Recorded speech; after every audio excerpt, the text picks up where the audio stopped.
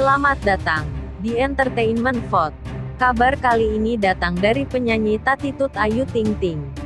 Asa dinikahi Adit Jayusman melambung setinggi langit, Ayu Ting Ting dikabarkan putus dari sang kekasih. Sebelum lanjut ke video ini jangan lupa subscribe dan aktifin loncengnya. Kabar tak sedap menghantui Ayu Ting Ting. Ya, biduan cantik yang satu ini diketahui baru saja menjalin hubungan dekat dengan seorang pria bernama Adit Jayusman. Bahkan, hubungan keduanya disebut-sebut sudah sangat serius.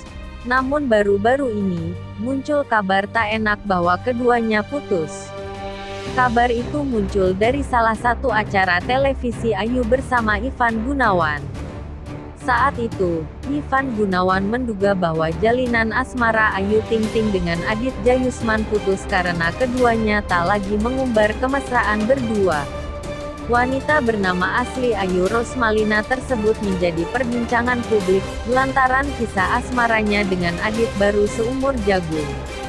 Janda satu anak itu pun buka suara tentang hubungannya dengan Adit Jayusman. Menurut Ayu Ting Ting, hubungannya dengan sang kekasih baik-baik saja. Orang bercanda kalian anggap serius, kata Ayu Ting Ting ketika ditemui di gedung Trans TV, Jalan Kapten Tendean, Mampang Prapatan, Jakarta Selatan, Selasa, tanggal 3 November tahun 2020. Wanita kelahiran Depok tanggal 20 Juni tahun 1992 tersebut mengaku sangat kesal ketika ditanya soal jalinan asmaranya dengan Adit yang dikabarkan putus. Giliran hubungan serius dianggap bercanda, ucapnya tegas.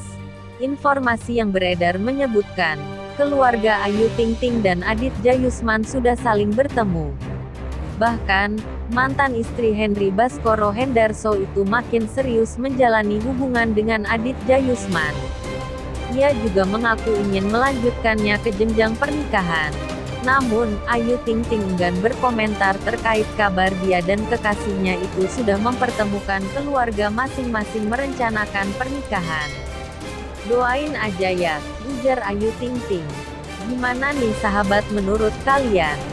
Jangan lupa ya, tinggalkan komentar di kolom komentar, like dan subscribe untuk channel ini. Terima kasih.